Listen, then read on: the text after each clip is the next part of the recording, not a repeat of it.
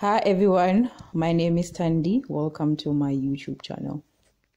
To wrap up our series on electromagnetism, I thought it was a good idea to do a question just to have a bit of practice on how to go about answering some of the problems you might be asked when sitting for an exam or a test. The question we will be doing on this video is from the November 2018 examination, so the grade 11 physical sciences paper 1. If you need a little bit of revision on concepts relating to electromagnetism, I would suggest that you first watch the first two videos I did on the topic. I will leave the links in the description. I'm not going to be going into detail because most of everything was covered in those two videos. So our question goes something like this. A square induction coil with a side length of 3 centimeters and 400 windings is placed perpendicularly in a uniform magnetic field and then rotated at an angle of 45 degrees in 0.08 seconds.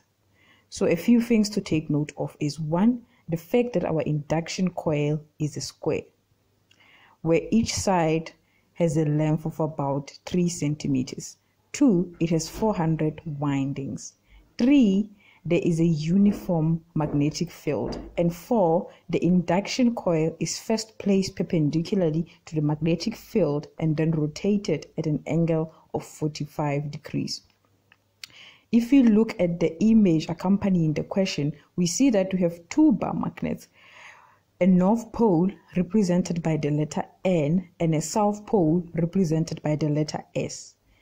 We see that the magnetic field lines are from the north pole to the south pole.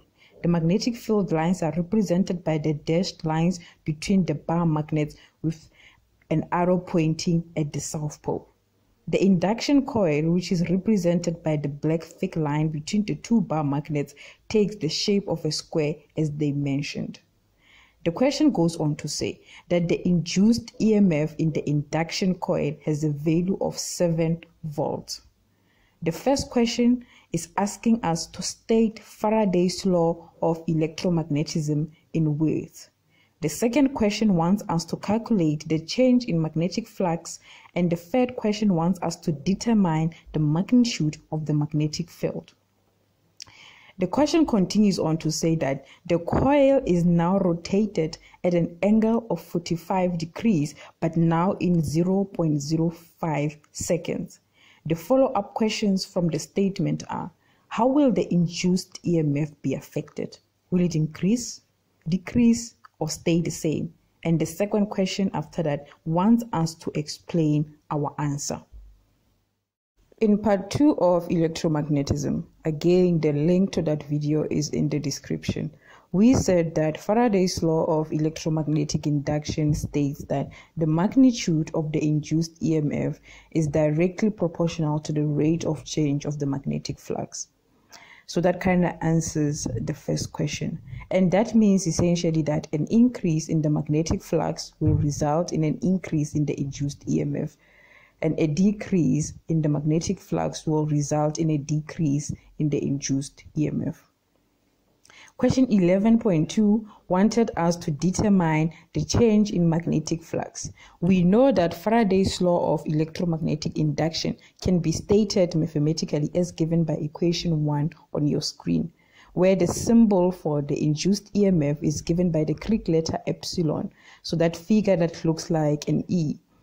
And the change in magnetic flux is given by the Greek letter delta that figure that looks like a triangle that is next to the Greek letter phi. So that figure that looks like a circle with a line uh, over it. And n is the number of windings, which we said was 400. And the delta t or yeah delta t is the change in time measured in in seconds so we are looking to calculate the change in magnetic flux we know that the induced EMF equals to 7 volts and n equals to 400 and the time of rotation was 0.08 seconds.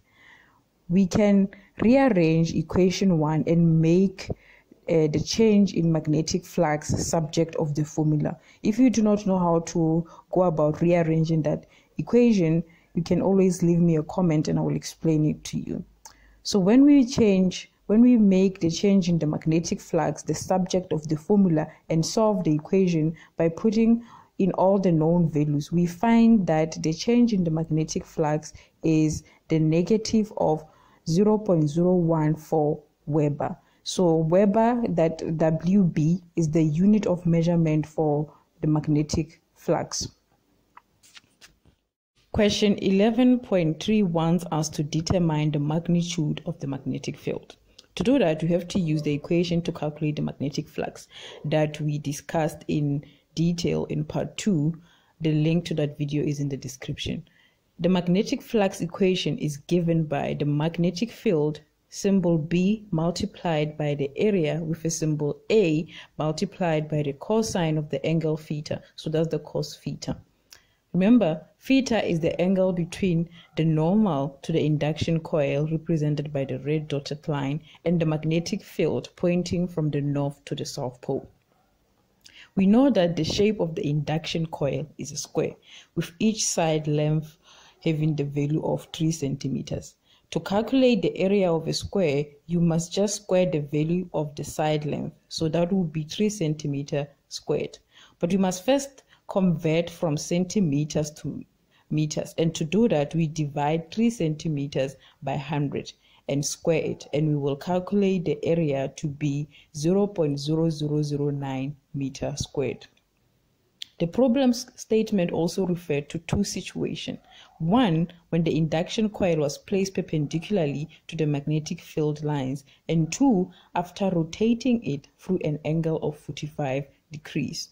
So before rotation, the angle between the normal to the induction coil and the magnetic field lines is zero degrees. They are in the same direction. That is, they are parallel to each other.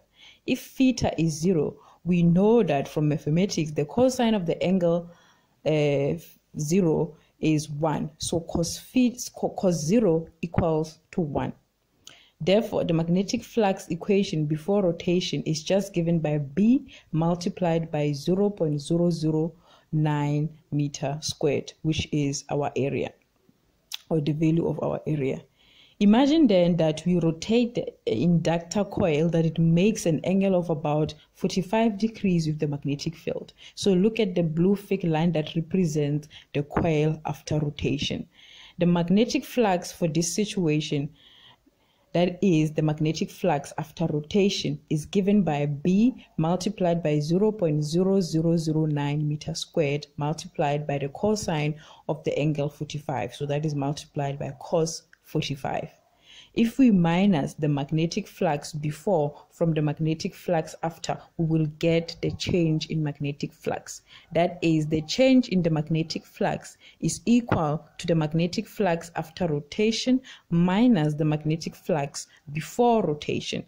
We already know that the value for the change in magnetic flux because we calculated it in equation 11.2 and we found it to be negative 0.0014 Weber.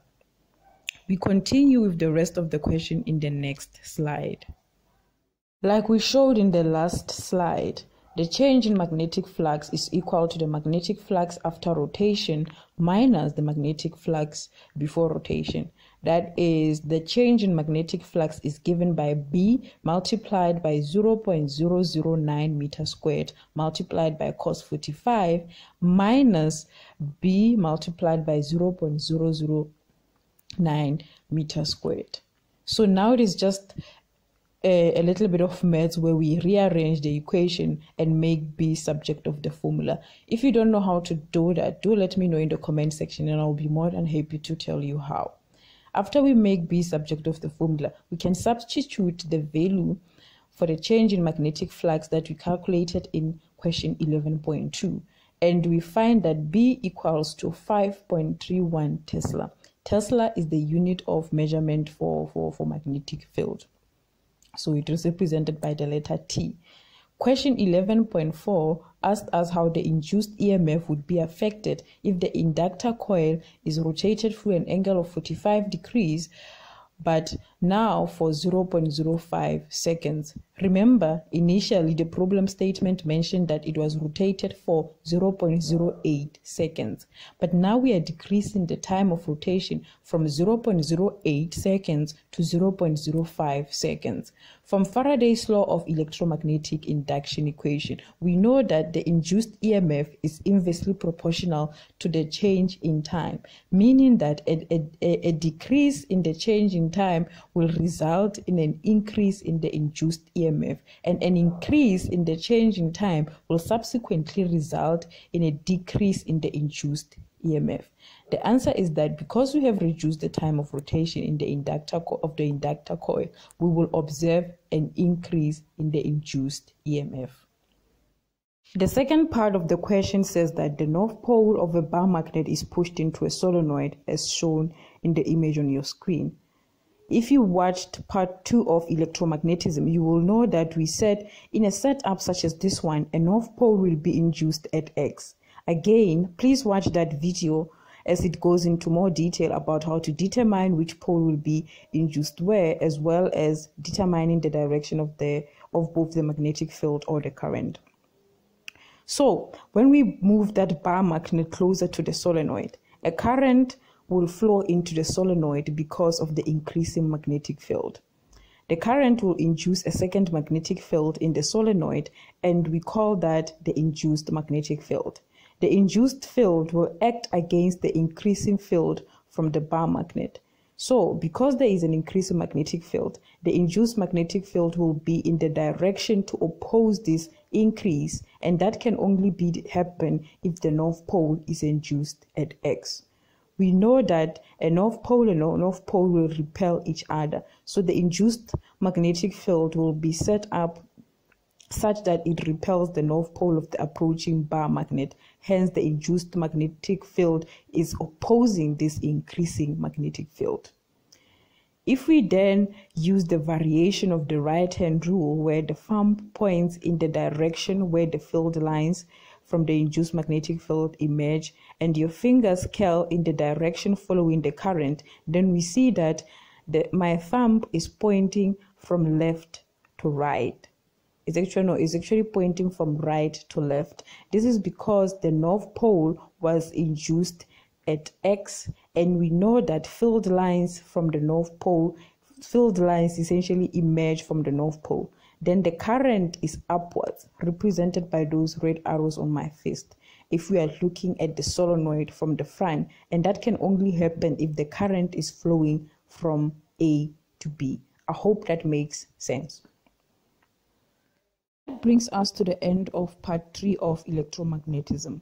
Remember, if something was not clear, please do not hesitate to leave a comment. Or if you like, you can message me privately on my social media accounts that I have left in the video description. Please remember to subscribe, like, and share. Till next time, I'm out of here.